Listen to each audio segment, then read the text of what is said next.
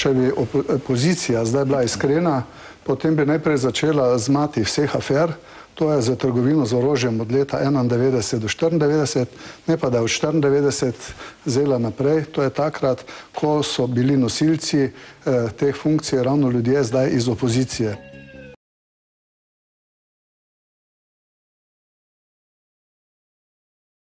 Zanimivo pa je, ko se govori o komisijah iz leta, eh, o Madonovi pa o Mogetovi in tako naprej, je treba vedeti, da je takrat predsednik vlade, gospod Drnovšek, poslal dopis, v katerem zahteva od gospoda Mogeta, da ukine, da neha raziskovati trgovino z orožjem. A je res to, gospod Moge? E, ta je res, ampak ko se ukvarjamo No, s temi stvarmi, se sam- vedno... sam Je to, res, samo to. je res, je res, je res. Se gre, ne adrem, ampak se vedno gre ad personam. Zdaj sem o osebah pogovarjali Dobro. na mestu o stvari.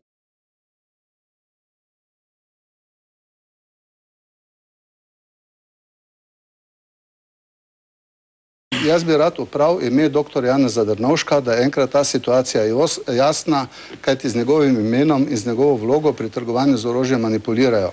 Prvič, dr. Janez Drnovšek, pokojni, mi je res pisal, to je bilo objavljeno, da naj bi nehal, da to ni v interesu države.